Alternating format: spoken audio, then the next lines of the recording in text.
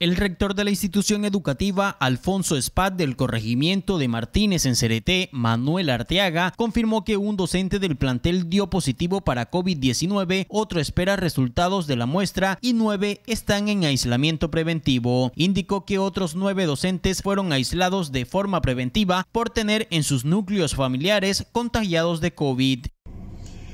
De ese docente que salió positivo, hoy puedo dar fe ya se, siente estable, está en el núcleo familiar, que también está contagiado su núcleo familiar. Eh, la otra estaba en espera del resultado que debe salir en el transcurso del día de hoy. Y nueve docentes que por circunstancias de que encontrarse en el núcleo familiar alguno, alguno de los, sus integrantes enfermos de por COVID y están interactuando con ellos, lógicamente no asistieron a dichas reuniones.